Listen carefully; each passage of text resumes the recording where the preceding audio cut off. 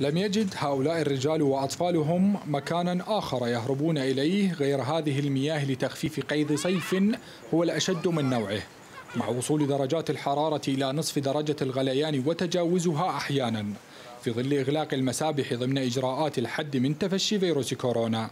في هذه الأجواء الحارة تصل درجة الحرارة 50 في محافظة ديالى ونحن الآن كمواطنين نلجأ إلى هذا في هذا المكان السباحة في نهر ديالى هنا في ديالى مشاهد السباحة في الأنهر وأكشاك بيع الثلج في الطرقات.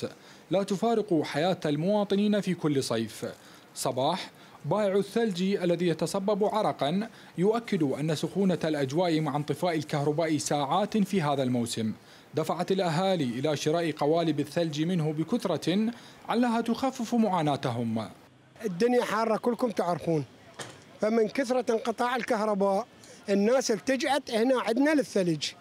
تسألهم ناس تحط المبردة تبرد به ناس تحطه بالترمز هو وتشيسه على مود تصفيه وتشرب به تجولنا في عدد من أحياء مدينة بعقوبة خلال منتصف النهار لكن على ما يبدو أغلب العوائل فضلت البقاء في منازلها بدلا من مواجهة لهيب الشمس الحارقة وما يتركه من أمراض وآثار.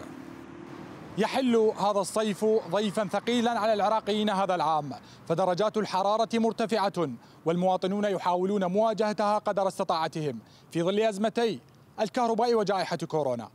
علي العنبقي ديالا يو تي في.